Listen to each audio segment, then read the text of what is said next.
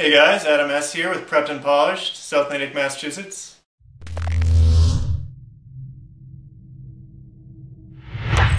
Today we're going to talk about an essential academic skill, effective note-taking. The most important part of note-taking is the simplest, easiest thing you can do to boost your academic performance. And that is quite simply, show up, be present in class. This is easy in high school, middle school, when your parents make you go and you don't really have a lot of choice, but by the time you get to college, no one tells you what to do, and your teachers aren't going to chase after you. So the easiest and probably the best thing you can do to boost your score is just to make sure that you show up. Now being present is more than just physically being there. It means making sure that you're there, prepared to learn. Make sure that you get up early enough that you're awake and you've had something to eat. Make sure you get to class 5 to 10 minutes early to make sure that you have time to get set up and you're not rushing in when the teacher's already started talking. Make sure that you sit near the front so that you're away from the distractions of your classmates and they're able to hear everything the teacher says and see anything the teacher might write on the board.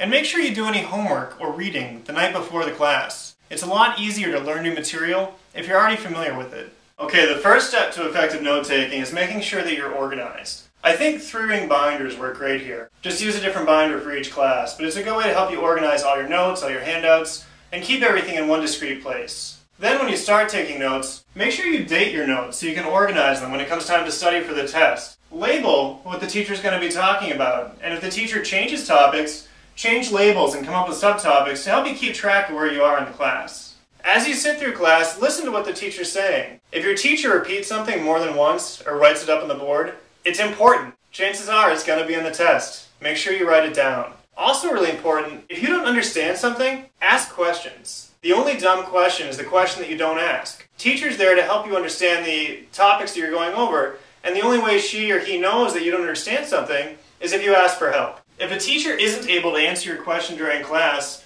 approach them after class, or show up early and approach them before class. Make sure you get the help that you need. If you're having trouble keeping up in class, there's a, few different technologies you can utilize to improve your note-taking. First, if you can't keep up with what your teacher's saying and feel like you're missing out on some of what uh, is being said and not able to write it down, try bringing a recorder to class. You can sit there and record everything the teacher says and then play it back later at your own pace. Additionally, computers can be a useful asset. If writing is too much of a challenge and you can't keep up, you can bring a computer and try typing your notes. Just make sure that you're actually typing notes and not, you know, looking up Facebook when you should be paying attention to what the teacher's saying. Additionally, if you qualify for special accommodations, Make sure you talk to your school's Academic Resource Center to see what accommodations are available. It could be that you could get a copy of the teacher's notes, notes from an official note taker, um, or recordings of the teacher's lectures. If you do qualify for note taking, don't only rely on someone else's notes, because you might not understand everything they write. Make sure you continue to take your own notes. If you have friends in the same class as you, compare notes with them. Make sure you didn't miss something the teacher might have mentioned. And then really important, when you get home at night and sit down to do your homework, review your notes. Repetition is the key to learning new material. So those are the basics of effective note-taking. To recap what we talked about, number one, show up, be present.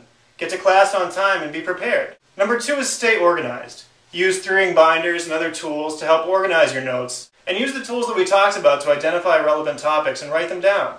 If you're having trouble keeping up, ask for help. And if you can't get help through asking, see if your school offers accommodations and use technology.